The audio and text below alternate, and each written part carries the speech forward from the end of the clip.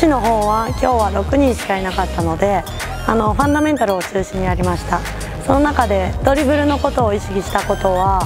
えっと、足を前後に開いて2ドリブルを作ると脇脇が締まってドリブルができて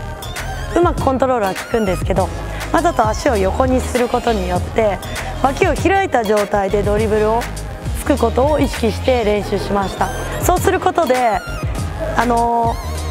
ディフェンスがいても近くでドリブルコントロールだけでなく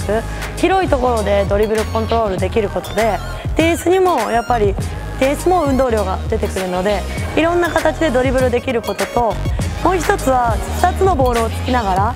もう強くつくことを徹底してあのやってもらうようにあの伝えましたミスしないように優しくやるよりはもうパワーでついてパワーの強化にもなるしあのコントロールもミスが